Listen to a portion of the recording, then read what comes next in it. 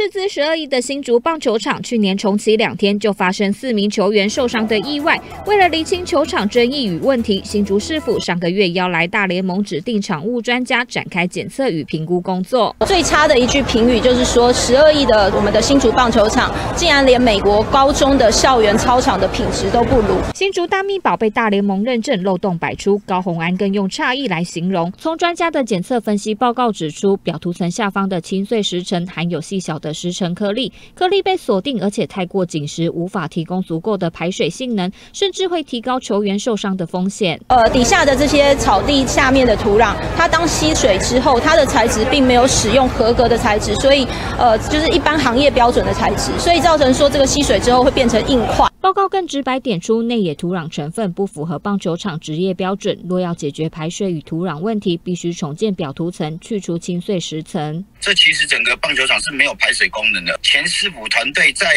对营造公司的审核的时候，就应该有一个标准。